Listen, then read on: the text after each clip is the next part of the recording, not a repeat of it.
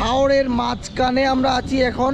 একটা এখানে লোকালয় আছে। এই লোকালয়ের কাছে একটা বাড়ির ঘাটে আমরা নৌকা থামাইছি।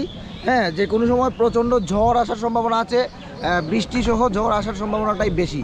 হ্যাঁ পানিতে প্রচণ্ড ঢেউ উঠতেছে, আকাশে গুড় গুড় করে মেঘ ডাকতেছে একটা ভৌতিক অবস্থা বা ভয়ঙ্কর অবস্থা বলা যায়।